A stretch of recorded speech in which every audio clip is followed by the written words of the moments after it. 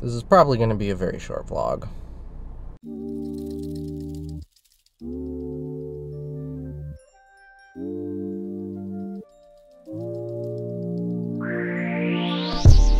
On Thursday, I got a new job. Got a nice call in the morning. It was a nice way to wake up. So, the job is doing motion graphics for Bleacher Report in New York City, which means I'm moving from New Hampshire. Um, if you're not familiar with Bleacher Report, basically it's a sports news website similar to ESPN. So I found out about that on Thursday. I found out about that on Thursday. Tomorrow, Wednesday, today for you, um, I will be going to work in the morning and then right after work, I'm getting on a plane and flying to Romania.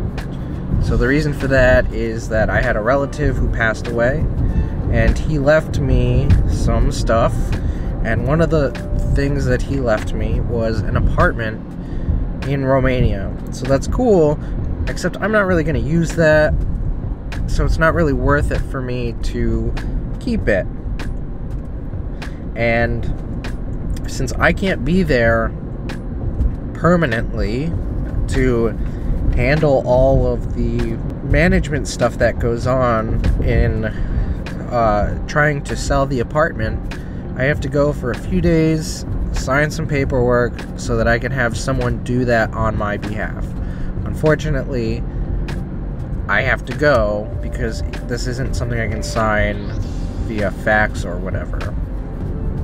Uh, and then after that, next week, uh, finishing up work, it'll be my last week, and then moving back home with my mother for a little bit. So until I can save up enough money and get a place, um, I will be there.